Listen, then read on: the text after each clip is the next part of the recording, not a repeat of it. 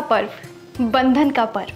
सूत में बंधे रिश्ते की ताउम्र हिफाजत करने की कस्में खाने का पर्व। रक्षाबंधन एक ऐसा पर्व जहाँ ना धर्म या जाति की बंदिशें हैं, ना ही अपने पराए का भाव।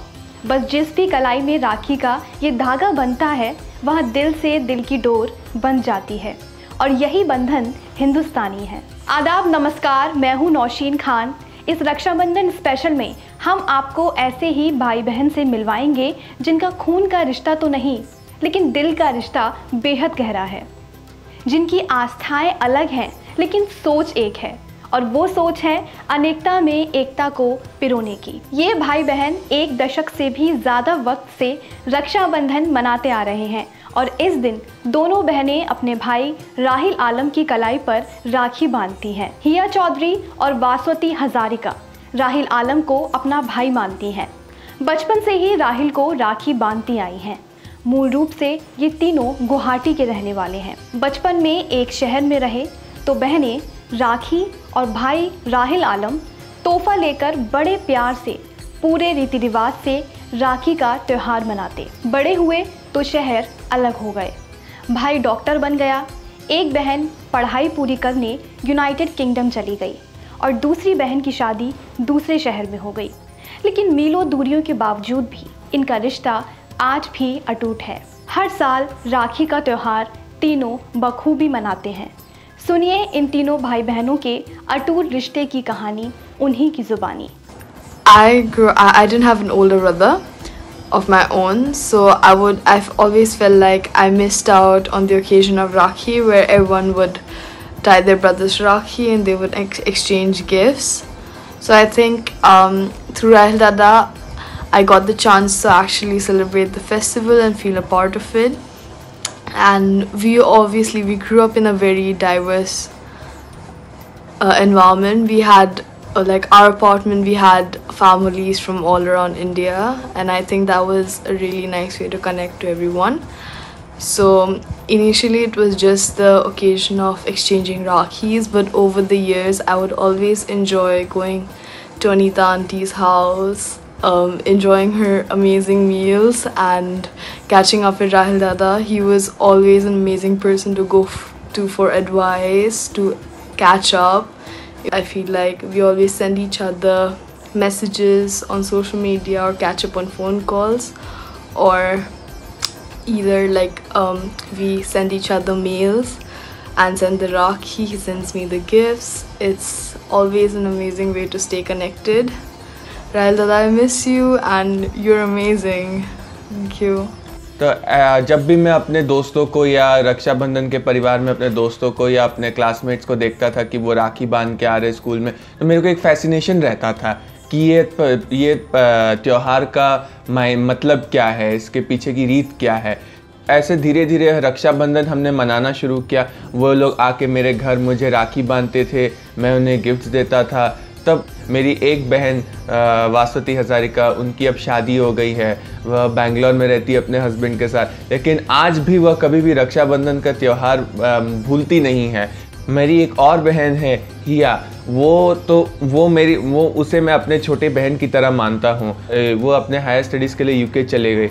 लेकिन आज भी वो रक्षाबंधन के समय हमेशा मुझे कॉल करेगी मैसेज करेगी और उनकी राखी हमेशा रक्षाबंधन के समय आ जाती है। अगर वह इंडिया में रहती है तो वो ज़रूर आती है, लेकिन हम वो जो रिश्ता जो इतने सालों का है, वो भाई बहन का रिश्ता, वो आज तक हमारा उतना ही पक्का है। और मैं इस इस प्लेटफॉर्म के माध्यम से अपने दोनों ही बहनों को रक्षाबंधन की हार्दिक शुभकामनाएँ देना चाहता हूँ। राहिल को मैंने फ़र्स्ट टाइम राखी बांधी थी शायद से मैं क्लास फोर में थी। and राहिल एक छोटा बच्चा था। Rahil was young kid and every year फिर मैं जब तक गुवाहाटी में थी एवरी ईयर हम जा, मैं जाके फिर बांधने लगी। क्योंकि um, ऐसा नहीं था कि किसी ने बोला हो या फिर uh, किया है करके करना पड़ेगा। No nobody forced us it became like a beautiful thing that we used to do उस टाइम पे तो राहिल को भाई मान ही लिया था। Almost अभी देखा जाए तो 15 इयर्स हो गया है। Almost more than a decade and we still have not let go of that tradition मैं अभी बैंगलोर में रहती हूँ। मैं फिर भी हर साल राहिल को राखी भेजती हूँ। मेरी रिसेंटली शादी हुई थी एक साल पहले एंड हमारे एसएमईज वेडिंग में एक रिवाज होता है जहाँ पे छोटा भाई एक राइस सेरेमनी में हेल्प करता है। और मेरा कोई छोटा भाई ऐसे नहीं था। इसलिए मैंने राहुल को पूछा, क्या तुम वो सेरेमनी मेरे लिए करोगे? And he was more than happy to help and honestly वो पूरे टाइम शादी में भी पूरा प्रेजेंट था। एंड पूरा छोटे भाई की तरह बहुत मदद की। और आई थिंक हमारा रिश्ता ऐसा है कि कभी पूछना नहीं पड़ता है, कुछ बोलना नहीं पड़ता है। It just is so natural हमारा कोई खून का रिश्ता नहीं है बट मैं जानती हूँ कि मैं गुवाहाटी जाऊँगी, कभी भी तो मतलब राहिल से तो मिलना होगा ही एंड कभी भी गुवाहाटी नहीं भी जाऊँ, कुछ भी and Rahil is actually doctor कोई भी अगर प्रॉब्लम हो लाइक राहिल जुकाम हो रही है, कुछ हो रहा है तो ऊपर मैसेज कर दो ऑटोमेटिकली एक लिस्ट ऑफ़ रेमेडीज आती है and that's the kind of care and bond we share together सुना आपने भाई बहन होने का ये फ़र्ज़ सिर्फ़ एक राखी तक ही सीमित नहीं है।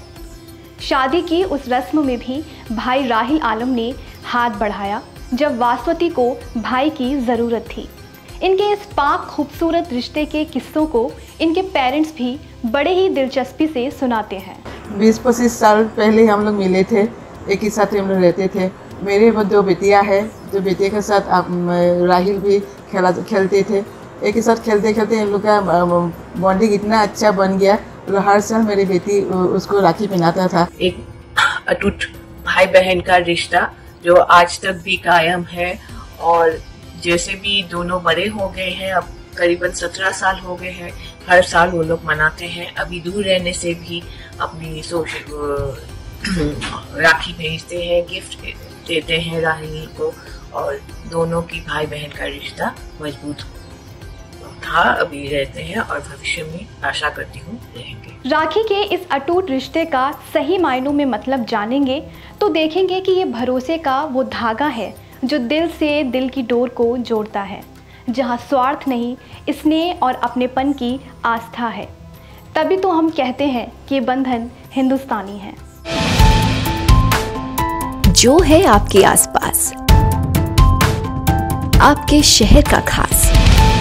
वो दिखाएगा आपको D N N twenty four आपका अपना डिजिटल न्यूज़ नेटवर्क तो फिर कीजिए लाइक सब्सक्राइब और फॉलो